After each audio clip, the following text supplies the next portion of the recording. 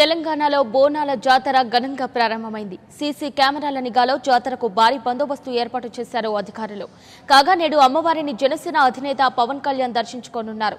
సికింద్రాబాద్ ఉజ్జయిని మహంకాళి అమ్మవారి బోనాల జాతర సందర్భంగా మధ్యాహ్నం ఒంటి గంట ముప్పై నిమిషాలకు అమ్మవారిని దర్శించుకొని ప్రత్యేక పూజలు చేయనున్నారు.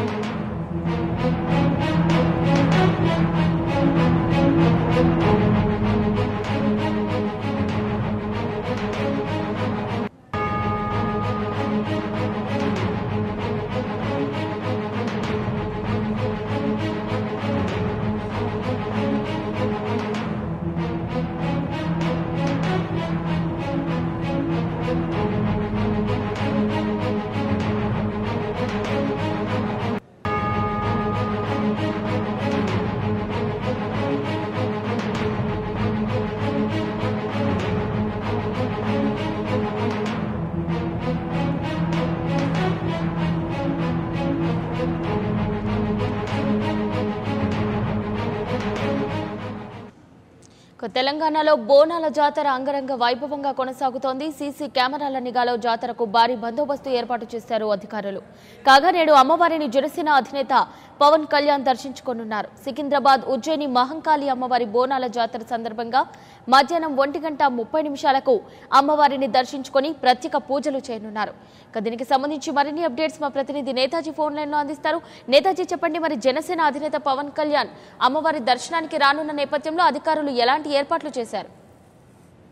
జనసేన అధినేత పవన్ కళ్యాణ్ ఈ రోజు మధ్యాహ్నం ఒకటిన్నరకు సికింద్రాబాద్లోని ఉజ్జయిని మహంకాళి అమ్మవారిని దర్శించుకోనున్నారు.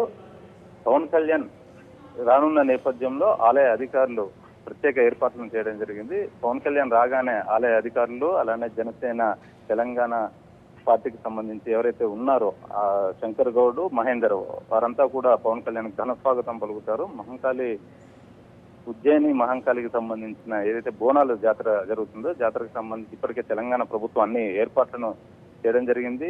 ఇవాళ ఉదయమే తలసాని శ్రీనివాస్ యాదవ్ దంపతులు తొలి బోనాన్ని సమర్పించారు. మరి కాసేపట్లో ఎంపీ కవిత కూడా బంగారు బోనాన్ని సమర్పించబోతున్నారు. ఇక పవన్ కళ్యాణ్ వస్తున్న నేపథ్యంలో అయితే అధికారులంతా కూడా అప్రమత్తమయ్యారు. పవన్ కళ్యాణ్ వస్తే ఆయన ఫ్యాన్స్ కూడా పెద్ద ఎత్తున తరలి వస్తారు కాబట్టి ఎక్కడ ఎలాంటి అవాంఛనీయ ఘటనలు జరగకుండా పోలీసులు కూడా భారీ బందోబస్తును ఏర్పాటు చేశారు. భక్తులంతా కూడా ఉదయం నుంచే పెద్ద ఎత్తున చేరుకున్నారు మహిళలు బోనాలని పట్టుకుని. ఈ నేపథ్యంలో వారందరినీ కూడా ప్రత్యేక క్యూ లైన్లలో అమ్మవారి దర్శనానికి పంపిస్తున్నారు.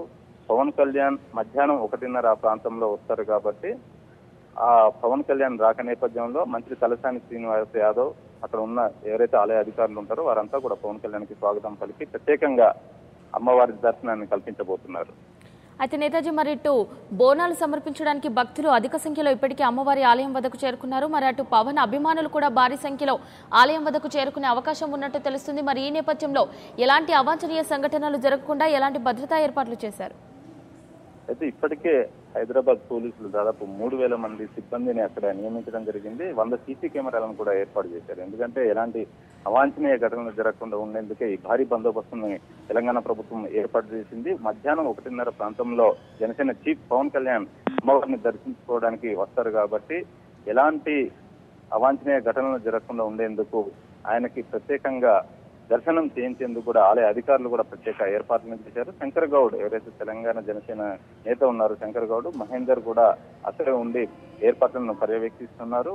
మరోవైపు తెలంగాణ మంత్రి తలసాని శ్రీనివాస్ యాదవ్ ఈ రోజు ఉదయం నాలుగు గంటల ఐదు నిమిషాలకు దంపతులు తలసాని శ్రీనివాస్ దంపతులు తొలి బోనాన్ని సమర్పించారు.